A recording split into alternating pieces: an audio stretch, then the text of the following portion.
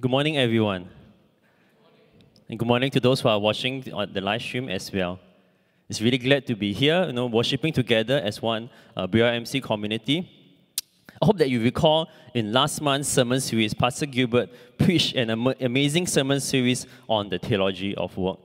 And I hope that you have been reminded that God has called us to our marketplace to serve Him faithfully wherever He has called us. So I hope that we have indeed been living out that call.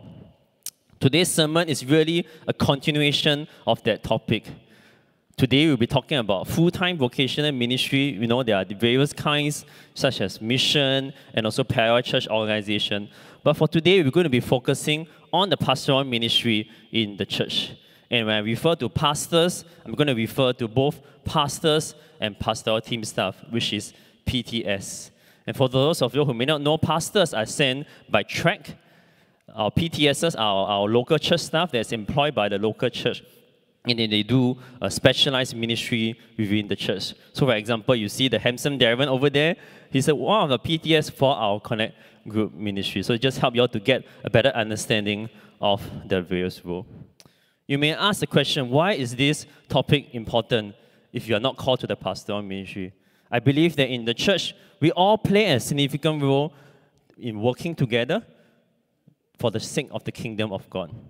So it's important that we know our roles, you know, as pastoral staff, as church members, so that we can effectively work together. Just like in a soccer team, you know, we need to know our various roles, striker, midfielder, goalkeeper. We need to know our roles so that we can uh, serve effectively. And I know that, you know, sometimes there's this misconception that, you know, pastoral ministry is elevated, you know, uh, above the work in our marketplace. But I hope that you know and understand that we treat the work in the marketplace seriously as well. Those are service towards God as well. And in Pastor Gilbert's sermon series, he has really anchored ourselves in that. So when we talk about today's topic, it's really in that context that everyone is called to serve God in our various fields. And in today, we're going to talk about the church pastoral ministry. So what do you think the pastor does in church? Is he like a CEO? You know, he's supposed to manage the company of the church, making sure that it's very run very effectively. Perhaps, you know, success in church is determined by how satisfied the congregation is, by the attendance, or perhaps maybe by the financial surplus. Decisions are often made based on risk management instead of faith based. As affirmed by Dr. Chiang Ming Shun in his recent Methodist message, he talks about this topic. He talks about how you know the he affirmed the good work, you know, the good organizational work of the church, and there's so many things that we can learn from secular business practices. But he warned us against adopting it wholesale without considering whether some of them are biblical. Perhaps you may think that the pastor is like a service provider on Sunday, he preaches the word of God. He administers the sacraments. He's there on the weekend serving the church. Wherever you need the pastor to do, he is there for you. When you call him to do the wedding, he is there for you. When you ask him to visit your parents, grandparents, he is there for you. Sounds quite pastoral, right? Sounds quite biblical.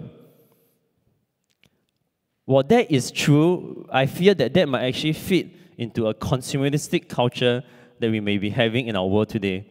You know, from Grab services to restaurant services, you know, we are always expecting to be served.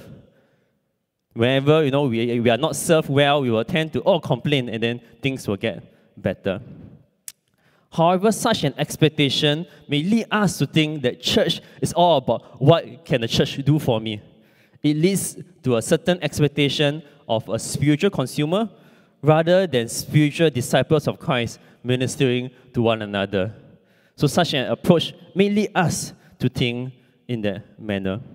And I hope to clarify here, I'm not saying that the pastors don't minister to the flock. The pastor should continue to minister to the flock, but we must avoid this misconception that the work of ministry doesn't belong to all of us. In fact, all of us have a responsibility to minister to the flock. What then do you think is a pastor? According to Benjamin Merkle, he there are at least four roles. The first is the shepherd role, the leader role, the teacher role, and the fourth one is the equiper. In the Bible, the word pastor is translated as shepherd. And then, you know, in our translation today, you heard the word uh, bishop. And then there are other translations that talks overseer, elders, and so on. So while they may be using different terms to, to, to title it, they are actually talking about the same role. And we know that because of the function that is being described of all of these titles. So essentially, they're talking about the same role, and hence, it's talking about the role of the pastor. So the role of shepherd, leader, and teacher are probably quite familiar to all of us. So I'm not going to elaborate too much on that. For today, we're going to talk about the role of an equiper, and I want to really highlight that for us. In our passage for today, in Ephesians chapter 4, verse 11 to 12, let us read it together. The count of three. One, two, three. He himself granted that some are apostles, prophets, evangelists, pastors, and teachers to equip the saints for the work of ministry, for building up the body of Christ. So in verse 11, Paul highlights five groups, five gifts of people. And today we're going to talk about the pastors. And as you can see, that their main role here is really to equip the saints for the work of ministry. As affirmed by Howard Hendricks in the quotation shown, This is the quotation, God is not calling you to do the work of 10 men. He's calling you to equip 10 men to do the work He has called them to do. Hence, their primary role is that of an, an equiper. Most of the time in church, we have this understanding that, you know, the church worker, full-time staff, just do everything lah. And then, you know, as a church congregation, my role is just to help you a bit, you know, when I don't have time, then you just do everything else. However, it's actually the reverse. The church, the saints of Christ, all of us, have the responsibility to do the work of ministry.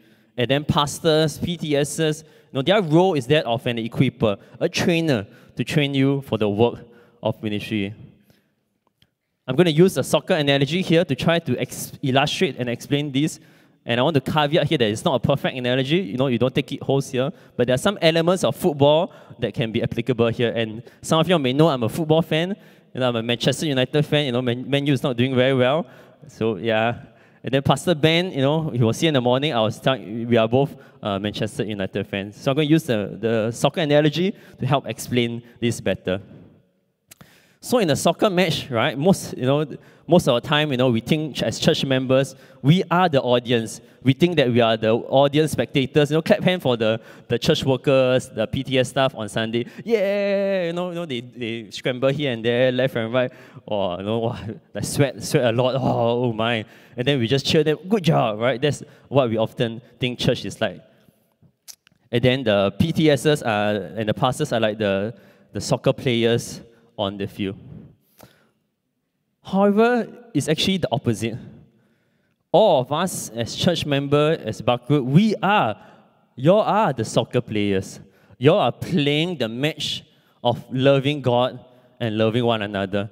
And in fact, the audience are the unbelieving world. They are the unbelieving world, the, our colleagues, our friends. They are seeing how we play the match of loving God and loving one another. So this analogy was not perfect should reverse our mentality of what we think about ministry.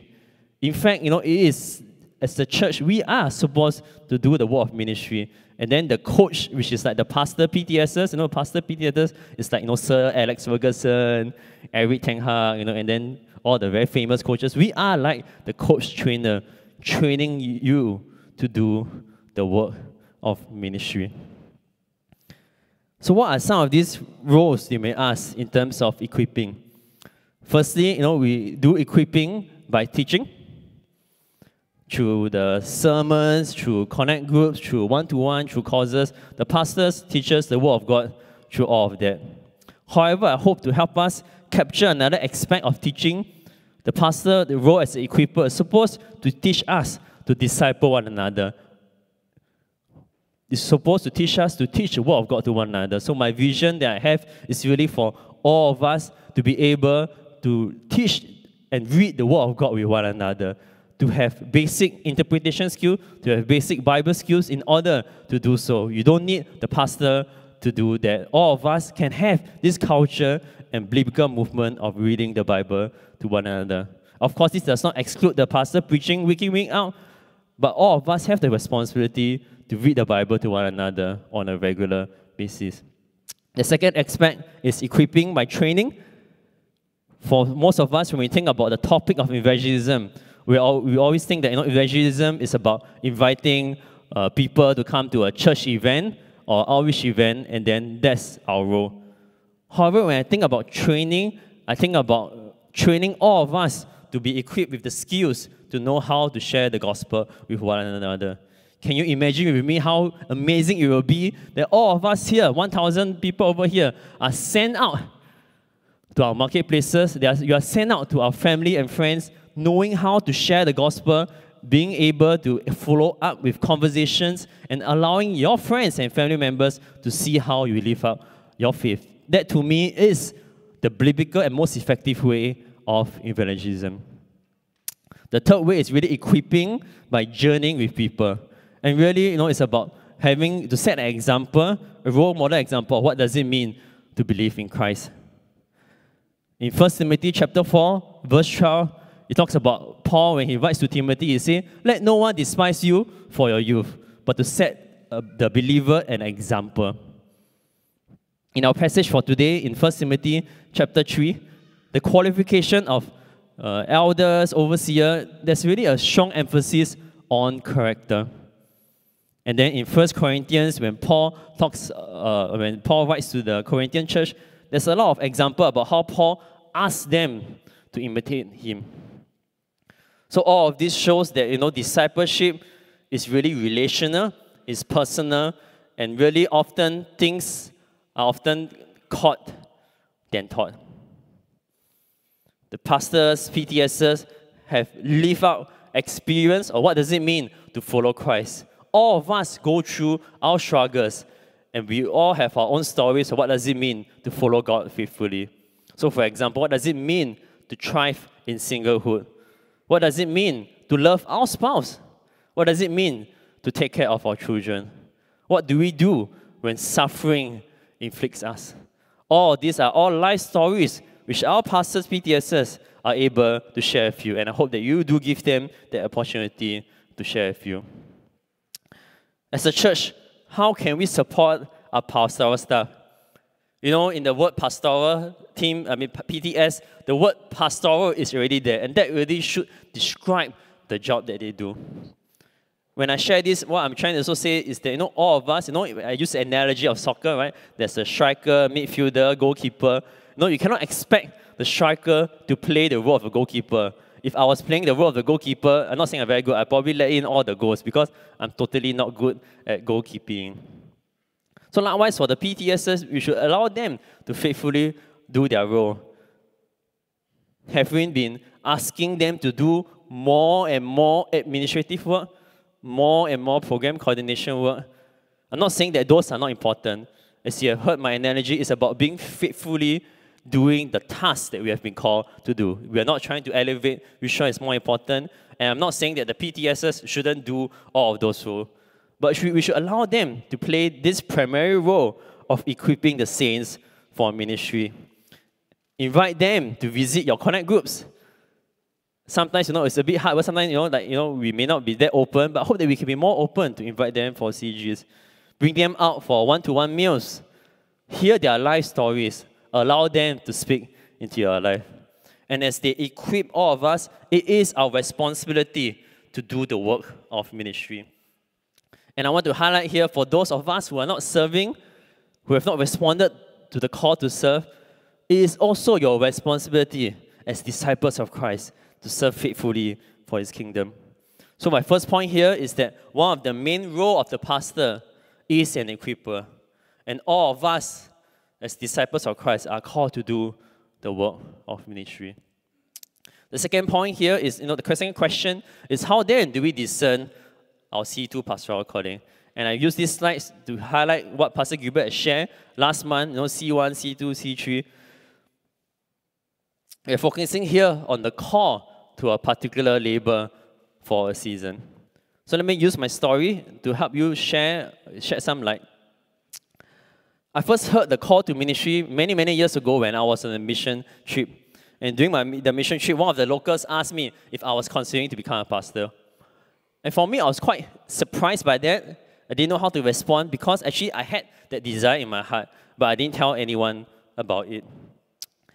And also, I had this misconception, misunderstanding. You know, that like, well, pastors, right? You must have a burning bush experience. Wow, I see God in the burning bush. Oh, I see the angel of the Lord has spoken to me. Yes, will respond. So that was my misunderstanding. You know, for, for calling to pastor, you must have such a dramatic kind of experience. However, Pastor Anthony Lee, who was my um, ex-mentor, ex-PIC, he journeyed with me and discerned this pastoral calling with me. He affirmed the pastoral heart that I have and the spiritual giftings required for the ministry. And God also spoke to me through 1 Timothy chapter 3, verse 1, which is our passage for today. You know, if really anyone aspires to the office of overseer, he desires a noble task. So the word expires, desire, really show that it's important. Desire is the starting point. And oftentimes you may think that you know desire is a bad thing. So, but do not dismiss this desire as selfish ambition. God perhaps is using that desire to speak to you. Perhaps it is indeed what God wants you to do. But desire alone is not enough. You need other layers of confirmation.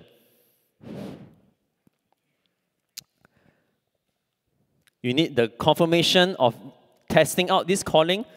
So for me, you know, I, I went to do a three months internship with my home church. So I went to the marketplace for a while, and then I went to, to in my experience uh, in the marketplace, the desire in my heart for equipping saints for the work of ministry grew. So I enjoy the work in the marketplace. I really believe it's an outreach field. But yet at the same time, I also sense this growing desire to do the work of ministry. Hence, I decided to respond to do a three months internship. And then through the three months internship, I responded to serve as a pastoral staff in my church. Aside from the desires that God has placed in my heart, the church community also affirmed the spiritual giftings that I have for the pastoral ministry. You know, responding to the call to ministry is not about pursuing one's dream. It's not about self-fulfillment, but the key here is stewardship. It is about stewarding the gifts that God has given you for the ministry. So while I'm thankful for the church affirmation, I'm reminded not to let pride grow in me and to focus on the goodness of God. What are some biblical principles you have glimpsed from my story? As I have shared, you know, 1 Timothy 3 verse 1, the starting point is desire.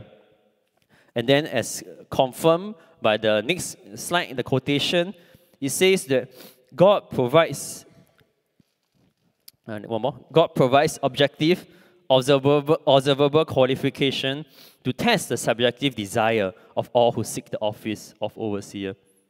Desire alone is not enough. It must be matched by good character and spiritual capability. So the second prince, the next principle, the first principle is do you have a desire? The second principle is do you have godly character? And look at the long list of character qualification in 1 Timothy 3, which is our passage today, it talks about a lot of character traits. So God really prioritizes character over skills. God is looking for people of God with good character. He's not looking for the perfect, not saying that perfect character, but these character traits must be present. We also, we also, he also not looking for potential good character. Maybe the person doesn't have good character, but you are hoping that he will grow to good character. No, we're not looking for potential good character. If the person you are appointing and seeing is now, that person must presently have good character. The third principle here is Am I gifted? And we look to the external call to help us. You know, Pastor Gilbert's sermon talk about internal, external. You know, we need to look to the external call to help us. Do others affirm your spiritual giftings for the pastoral ministry? Can you preach and teach? Can you shepherd?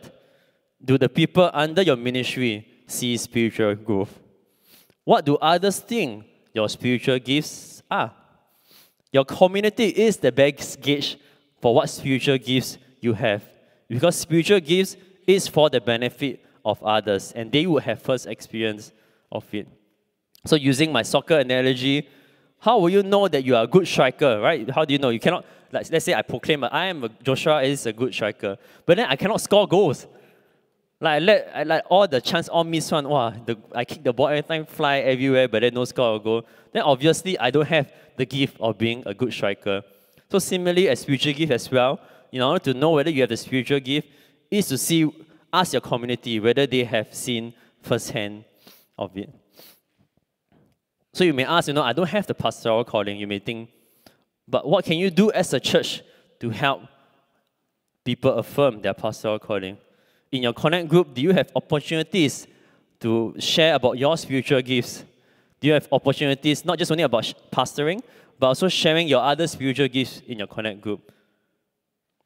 And if you know someone who has the gift of shepherding and teaching, perhaps, why not highlight it to him? Let him know that he has that gift. Affirming someone's spiritual gift does not automatically mean that he or she becomes a pastor. So don't be afraid. You know, don't go. As, don't be scared. You know, you don't dare tell this person because later you say that he, he thinks he is a pastor. As you have seen in today's sermon, there are many layers of confirmation. So it is really up to him and God to really discern that. But for our responsibility is to encourage and affirm those who have those spiritual giftings. So, point two for today how do you discern if you have a pastoral calling? Do you desire pastoral work? Do you have godly character? Does your community affirm your pastoral calling? Do they affirm the spiritual giftings for the role? So, as we think about pastoral calling, perhaps you may be also thinking, what are some challenges that one may face when entering it? So, I'm also going to use my story to also illustrate my points as well. So before, you know, I shared my story about going for a three months internship and then serving in my church as a PTM. Before responding in obedience, I really struggle with a lot of financial consideration. In my mind, you know, a lot of my peers upon graduation, you know, after working for a few years, were doing very well in their careers. Then in my mind, okay, I'm very prideful at that time. What I was like saying, God, I'm also very capable, what, right? You know, I want to do so well, you know, that kind of thing, right? Then I should also be earning as much as them. So that was my pride speaking to me. But God spoke to me through these following verses uh, from First Timothy. So let us read it together. Uh, First Timothy chapter 6, verse 17 to 19 together. As for those who in the present age are rich, command them not to be haughty or to set their hopes on the uncertainty of riches, but rather on God, who richly provides us with everything for our enjoyment. They are to do good, to be rich in good works, generous and ready to share, thus storing up for themselves the treasures of a good foundation for the future, so that they may take hold of the life that really is life. So, firstly, I learned to set my hope on God and not on riches, to know that God will provide for everything that I need to enjoy. Secondly, is to be rich in good works and not in money. To be rich in good works and to respond to serve Him wherever He has called me. So when I when God showed me this verse, I repented and I told God, Yes, Lord, I will trust you wherever you lead me to. I will follow you wherever you ask me to go. There are also some practical consideration, and I want to assure you that God will indeed provide you for your needs. Of course, not a luxurious need, but provide you for whatever you need in order to fulfill His will. Secondly, the second thing that I also hold closely to is really to live simply, to live within one's means. Our founder, John Wesley, also have that principle as well. And I believe my, most of all my colleagues also live that out as well. The pay is also sufficient uh, for basic livelihood in Singapore. I'm not saying that, wow, you super rich, that kind of thing, but for basic livelihood, it is sufficient for us. Perhaps, you know, you may struggle with some doubts and inadequacy to fulfill that role. And I want to say that it is indeed, the pastoral calling is indeed a weighty role, and one should not take it too easily. However, I want to share with you that you're not alone in feeling that way in terms of doubts and inadequacy. If you look at the Bible, the Bible has numerous examples of saints who struggle with God, who struggle with doubts, and yet God was with them and God equipped them for the work. For example, Moses led the Israelites out of Egypt. Joshua led the Israelites into the promised land. They also struggle as they respond to God, yet God equipped them all. Similarly, if you have the call to pastoral ministry or whatever roles that God is calling you to do, God is going to equip you for the work. You only need to respond in obedience and to depend on Him. What challenges are you facing in responding to God's call? Perhaps is pride in our heart, thinking, you know, that you know, I don't want to let go of my career success. Is it financial considerations? Is it doubts or inadequacy? And I want to say that all these struggles are real and genuine. And our first response is to pray and seek the Lord. Secondly, is to find out about pastoral calling. What is it all about? To seek counsel from other people, especially from people who know you well. Sign up for the Courage and Calling course that Pastor Gilbert is conducting. And I believe the first session starts, to, starts today's afternoon. Talk to one of our pastors or PTSs about what this work entails. And if you are sensing that God is calling you, you are not actually quite sure, sign up for our internship. You know, to, in today's context, there are many terms used to describe it internship, trainingship, apprenticeship, you know right? I think there are various terms to describe this. And Barker Road has an internship program. It is an opportunity for you to discern and test if God is indeed calling you to the ministry. You know, in the marketplace, we often pursue various internship. You know, we try to uh, discern what career God is leading us, and perhaps also to gain more and more marketplace experience. And this is a trend that I see in today's context, you know, more and more people sign up for a lot of various internship. But however, why have we not considered church internship as one of the area? Why do we uh, straight away assume that we are not called to the ministry? Another question that one may have is, should you have some marketplace experience uh, before uh, going to the ministry? I want to say that there are various um, different examples some people, upon graduation, went to TTC and served in pastoral ministry. Some people went outside to work for a few years before going into ministry. And I want to say that there's really no formula for this. There's no so called right or wrong answer in that way. The right answer is that you obey God's timing. God sets the timing, not human wisdom. God is the one who set the timing, and then you just obey accordingly.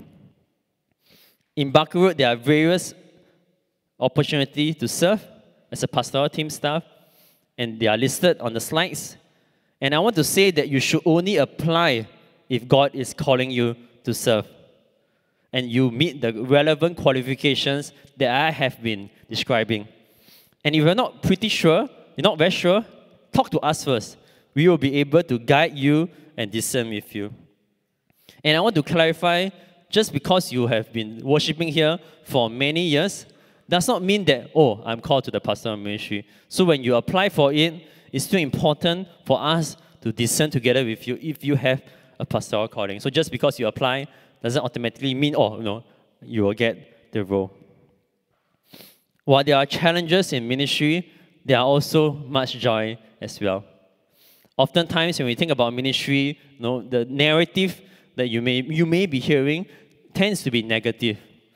Ah, yeah, wow, not enough staff. Lah. Ayah, ayo, not enough pastors. Oh no, oh no, we're going through a crisis.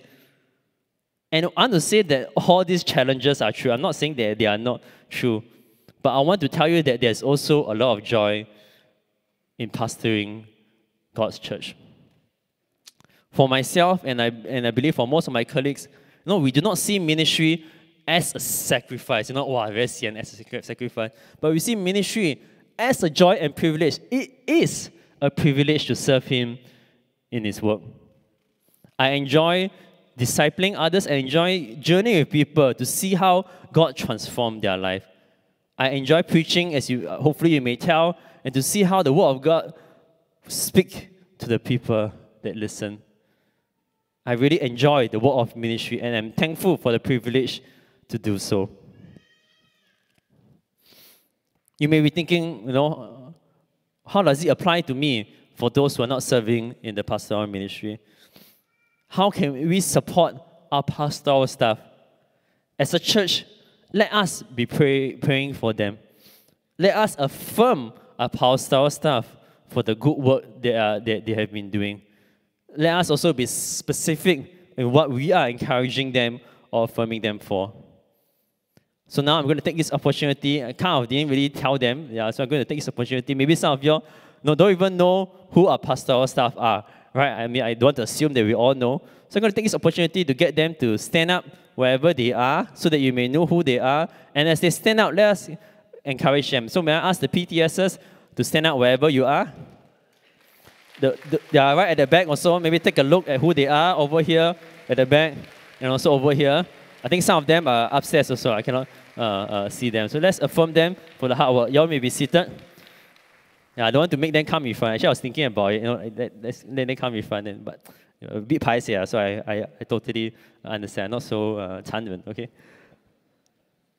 So the homework that I have for you, right now that you have recognized their face, is to go and encourage them. Okay, I want to um, give you a homework. After I know after I talk so much, right, then sometimes we may not really follow up with it. So I want to challenge you. After the service, go and encourage at least one pastoral staff, one PTS. Tell them what are the good work that they've been doing. Help them feel appreciated, appreciated and affirmed. And I want to say that you know that I appreciate some of us who have been you know encouraging and affirming our pastoral staff. Thank you for encouraging us for the good work that we have been doing. But this culture of affirmation does not just belong to a few, it belongs to all of us. All of us have a part to play in encouraging and affirming our staff. And not just affirming our staff, but also affirming one another in our church community. So let that be our culture in Barker Methodist Church. So my third point here is that to turn to God when facing obstacle in answering his call to the pastoral ministry. And remember that there are indeed much joy in shepherding others. So in conclusion, we learn that the pastor is not like a CEO or you know a service provider. One of the main role of the pastor is an equiper, and all of us need to be equipped to do the work of ministry. My second point, I also explore what does it mean to discern if you have the pastoral calling. Firstly, I talk about how, you know, do you desire the pastoral work? Do you have godly character? Do your community affirm your pastoral calling? Do they affirm your spiritual gifts for the role? My last point was that, you know, in, in answering this call, there will be obstacles, there will be challenges. But the assurance here is that we can turn to God, and God is with us as we respond to Him. And there is indeed much joy in shepherding others. How does today's sermon apply to us? Perhaps you may, may feel that you know are not really called to the pastoral ministry. How does this apply to us? While not everyone is called to pastoral ministry, each of us are called to minister to one another all of us are called, a commission to our marketplaces, to our various mission field to live out His calling. So all of us have a role to play. From today's sermon, I hope that you will know and respond by empowering our pastoral staff to equip us for the work of ministry. Let us take the time to affirm them for the good work that they are doing. As a church, let us pray for good pastors to be raised and to identify them and to nurture this potential pastor. It is our role as a church community to nurture the next generation of pastors. And if He is indeed calling you to the pastoral ministry, would you respond? If you know of your children or your grandchildren who have the call to ministry, would you release them? Would you pray for them? Will you cheer them on and encourage them for this important work? Let us pray.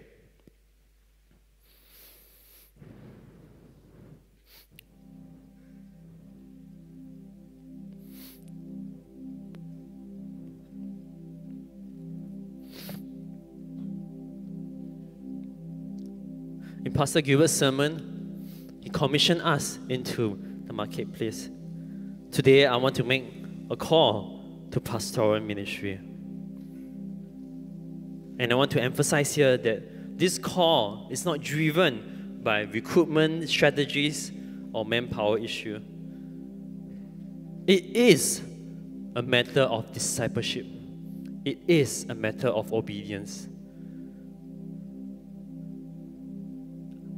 And I am concerned that some of us have heard the call but have not responded in obedience. God has indeed been speaking to our hearts, calling some of us for this work. And our excuse cannot be, oh, ask someone else instead. Our excuse cannot be, or uh, let me just contribute financially. If God is calling you, you need to respond in obedience.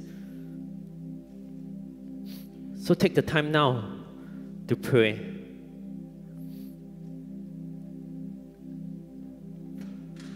And soon we're going to sing the response song. And after, a, after the response song, I'm going to lead y'all to respond. For some of y'all who have called to the pastor mission, I'm going to encourage you, I'm going to challenge you later on to raise your hands if God is indeed calling you. But for now, we're going to, um, the worship team will help lead us in a response song. And as they lead, take the time to pray, and I'll give you the opportunity to respond accordingly.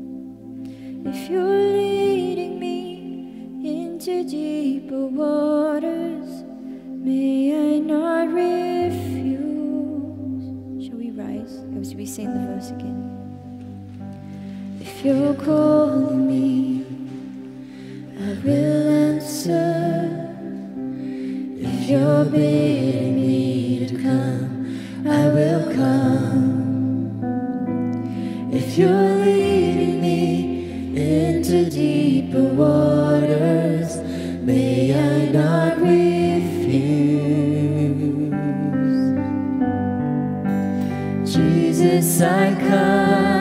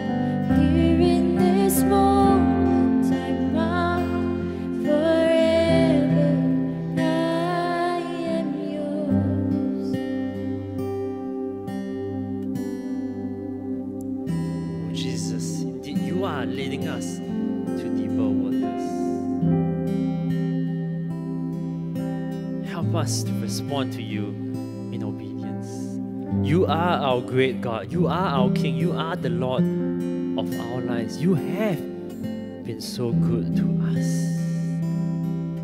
Help us, Lord, to know your goodness. Help us, Lord, to know that in the midst of our struggles, in the midst of the challenges that we may be experiencing, to be assured that you are with us in the fire.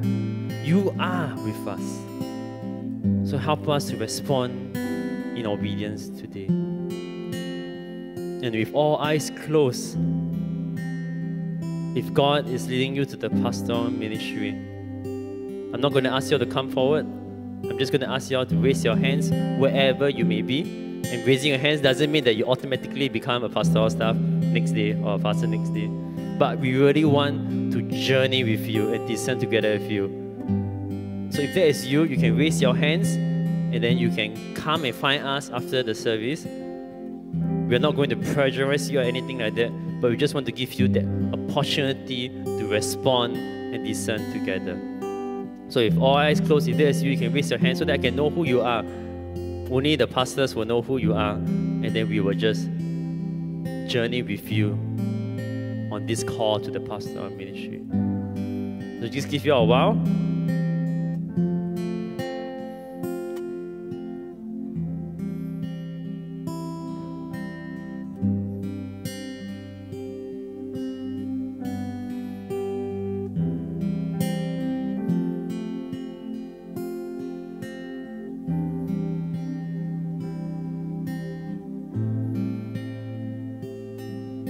Dear Jesus, we thank you for all our pastoral staff. We thank you, Lord, that you are the one leading and guiding all of us. For some of us who have the call, may you help them receive the courage and affirmation of their community. And as a church, let us continue to pray for our pastors and PTSs May we continue to affirm the good work they are doing. And may you, as a church, help us create a culture of encouragement and affirmation. Let us be a church that nurtures and raises up the next generations of pastors as well. Let this be our call. Just In we pray. Amen.